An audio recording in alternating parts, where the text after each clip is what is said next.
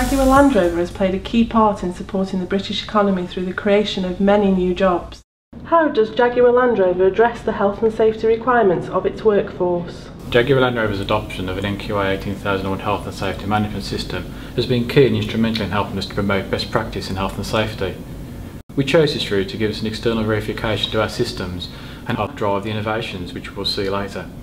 As one of the leading manufacturers, Jaguar Land Rover sees compliance to 18001 as not only the right thing to do, but also essential for our business.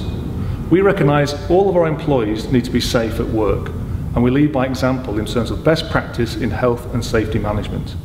We are committed to ensuring that we meet the requirements for certification to the 18001 standard. Certification promotes continuous improvement.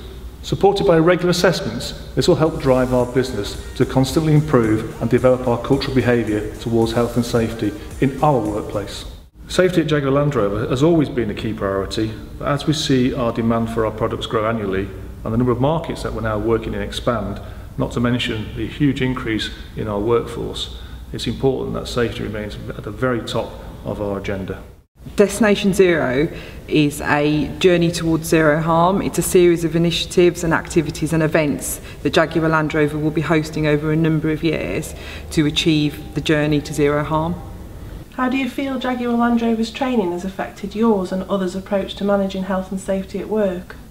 We know that our contribution to the maintenance of a safe working environment will be measured and observed by external auditors.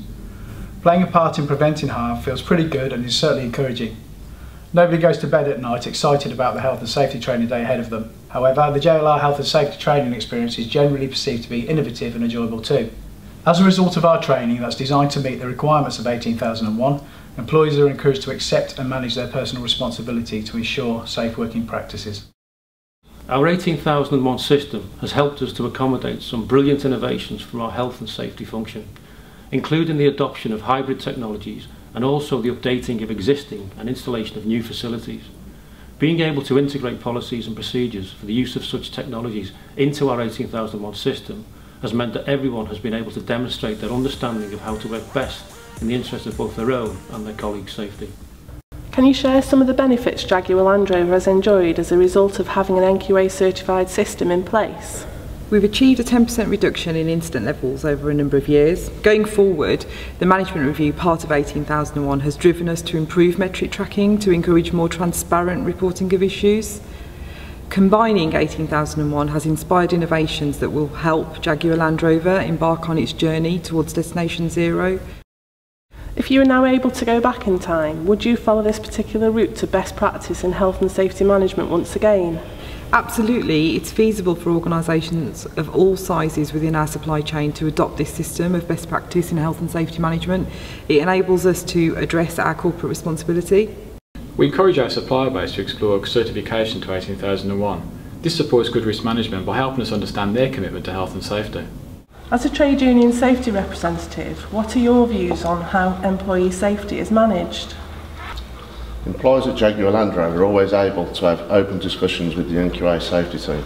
Our audits that have taken place have never been seen as interrogation, more as an opportunity to improve the processes and performance of safety on site. Certification of 18001 also promotes communication between senior management and us at uh, operational level. This communication is what has motivated us to keep 18001 certification year on year. There's a range of health and safety systems organisations can adopt. What influenced your decision to go for an NQA certified 18001 system over and above others in the marketplace? We wanted to take every possible measure to encourage best practice in health and safety amongst its employees and suppliers. 18001 is globally recognised as one of the most robust and high spec standards to become certified against. Certification gives employees the assurance that they can be safe at work. What advice would you give to companies considering 18001 certification? Companies looking to promote a prevention is better than cure culture should opt for 18001 certification every time. The four main stages Jaguar Land Rover encountered on their route to certification were plan, do, check and act.